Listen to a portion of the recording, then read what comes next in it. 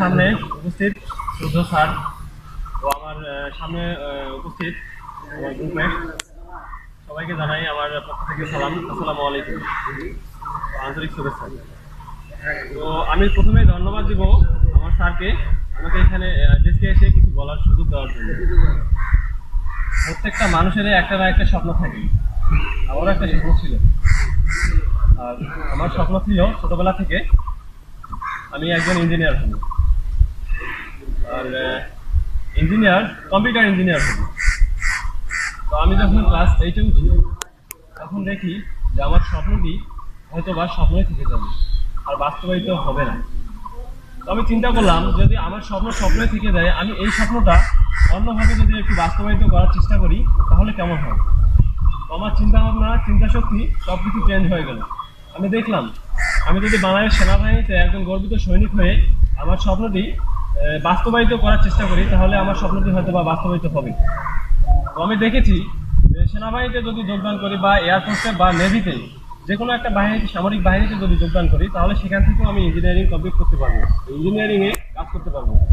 বা দেশের জন্য কোনো কিছু করতে পারব, রেখে দিতে পারব, কোনো কিছু কাজের যাচাই পক্ষ বা কোনো কিছু সততা। আসলে আমি কাজ করতে চাই দেশের জন্য। আমি এগিয়ে যেতে চাই। কিছু হতে চাই না কখনো। আমি সামনের দিকে এগিয়ে যেতে চাই। তাই সাহসিকতা, মনের শক্তি, কখনো যেন দুর্বলতা না আসে আমার মনে। আমি সেই প্রত্যাশা রাখি। সবসময় আল্লাহর কাছে আশা করি আমার যেন মনের আশা পূর্ণ হয় আর সবাই যেন আমার জন্য দোয়া করে। আমার মনের ইচ্ছা যেন পূর্ণ হয়। আমি যেন কখনোই থেমে না থাকি। এগিয়ে যাই যেন সবাই সব সময় সামনের দিকে। ভয় যেন না পাই আমি। আমি চাই নিয়মানুবর্তিতা, দুঃসাহসিক চ্যালেঞ্জিং মোকাবেলা এবং রোমাঞ্চকতা সব কিছুই যেন আমার মধ্যে থাকে। আর আমি এখানে এসেছি, আমি সোলজার আমি আগে এসব কিছুই বলতে পারতাম না, বা ডেস্কে এসে যে কোনো কথা বলব, তার কোনো সাহসিকতাই ছিল না, বা মনের কোনো শক্তিই ছিল না। আমি জানি যে এ ধরনের কিছু কথা বলার জন্য, বা ডেস্কে আসার জন্য একটু মনে সাহস বা শক্তির দরকার হয়। আমি এখানে এসেছি সোলজার ট্রেনিং একাডেমিতে এসে অনেক শক্তি পেয়েছি, অনেক মনে সাহস পেয়েছি। মনের দুর্বলতাকে কাটিয়ে ওঠার চেষ্টা করতেছি।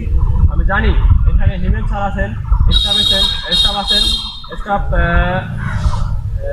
স্টাফ আছেন লাবলু ভাই এবং লাইভ ভাই দুইজন প্লাস আরেকজন আছেন, মুস্তাক ভাই। এরা আমাদের যা শিক্ষা দেন, যা নিয়মানুবর্তিতা শেখাচ্ছেন এবং ক্লাসে যা করাচ্ছেন, আমি দেখতেছি, পূর্বে তারা এখানে ট্রেনিং করেছে, তারা সব তারা এখানের নিয়ম বা নিয়মানুবর্তিতা এবং ক্লাস অনুযায়ী যা শিখে গেছে, ওখানে যে সৈনিকে বা যে কোনো পরীক্ষাতে গিয়ে অ্যাটেন্ড করেছে এবং এটাই পেয়েছে। তো আমি যাই, আমি যদি করি, তাহলে আমি কেন পারব না? আমি কেন দেশের জন্য কোনো- কিছু করতে পারব না? আমি দেশের জন্য অবশ্যই করতে পারি, অবশ্যই করব।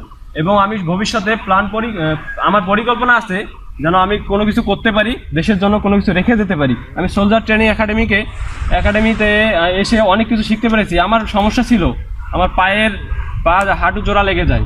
আমি এখানে এসে এখানে স্টাফ আছে স্যার আছে, এদের এনাদের কথা শুনে আমি নিয়ম মেনে কিছু কাজ করেছি, কিছু ট্রিক মেনে চলেছি, তাই আমার এই সমস্যাটা সমাধান হয়েছে। আমি মনে করি, আমি গর্বিত সৈনিকের জন্য প্রস্তুত। আমি একজন অফিসার চাই, একজন গর্বিত সৈনিকে খুঁজে বের করার জন্য।